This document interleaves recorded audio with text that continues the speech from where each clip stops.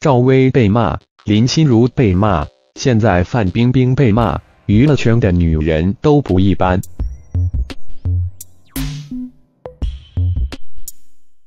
赵薇被骂，林心如被骂，现在范冰冰被骂，娱乐圈的女人不一般。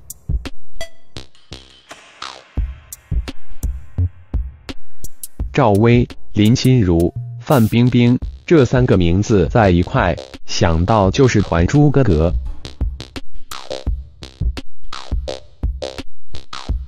《还珠格格》让三个人大火，收了高的人气和起点。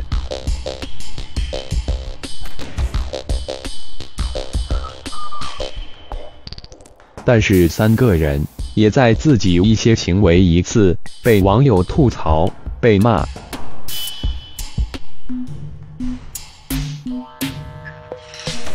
赵薇被骂，第一次是在二零零一年，赵薇为时装杂志拍摄了一组照片，有张照片是赵薇穿了件有个红太阳、放着红光，而且底色是白色的外套，不是衣服，只一大条布。其实就算是衣服也会被骂。出现在台上，这服装图案酷似日本军旗。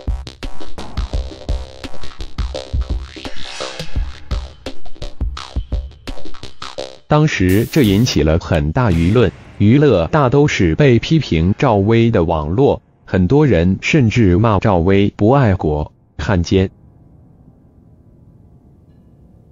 第二次，在上年被央视爆料偷税漏税的事件，作为明星，收入不菲，收入到一定程度后，很多会做一些投资。赵薇和老公也做了投资。但被新闻批评偷税漏税后，网络更是掀起了批评赵薇舆论。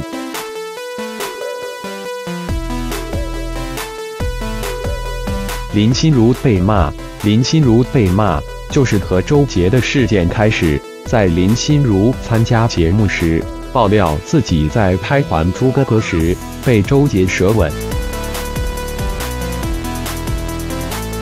但事后，周杰本人否认，两个人开撕，在网络产生了很大舆论，而且事后不断提起此事件。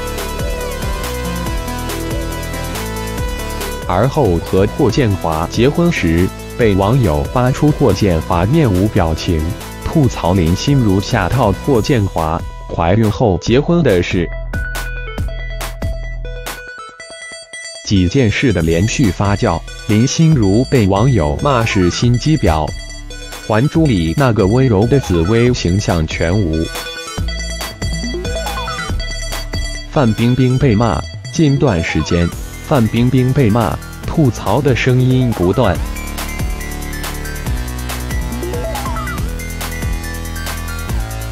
事件是从央视前主持人崔永元的微博爆料开始的。崔永元微博对范冰冰拍戏签阴阳合同，几天时间酬劳就是六千万，而且各种演员特权，晒出其签约合同照片。